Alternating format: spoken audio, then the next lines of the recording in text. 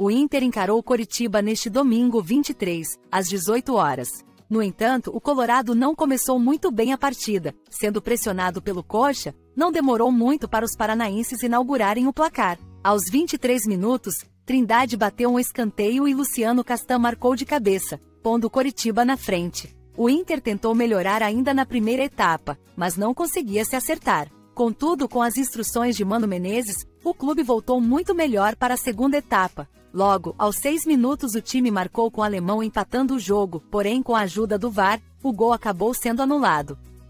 Entretanto, não demoraria muito para o Clube do Povo buscar o empate. Em cruzamento de Alan Patrick, Vitão marcou de cabeça e empatou o jogo. Buscando a virada, Mano Menezes fez todas as trocas que podia, mas o placar permaneceu igual. O lance mais inusitado que ocorreu no restante da partida foi o Gandula alegar ter sido agredido por um jogador do Inter. Porém, não houveram imagens que comprovassem isso durante o jogo. Contudo, o resultado de 1 a 1 acabou tendo um gosto amargo, uma vez que o Colorado marcou dois gols e a arbitragem fez de tudo para anular o de alemão. Fala comigo, torcedor colorado. O que achou da notícia? Coloca tua opinião nos comentários.